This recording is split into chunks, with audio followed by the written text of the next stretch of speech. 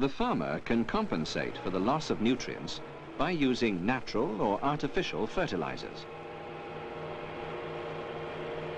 If there is livestock on the farm, many nutrients are returned to the soil as solid or liquid manure.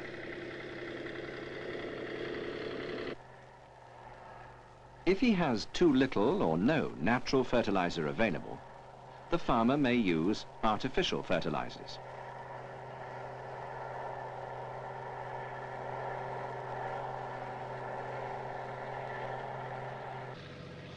One of nature's own breakdown products from natural fertilizer is ammonia.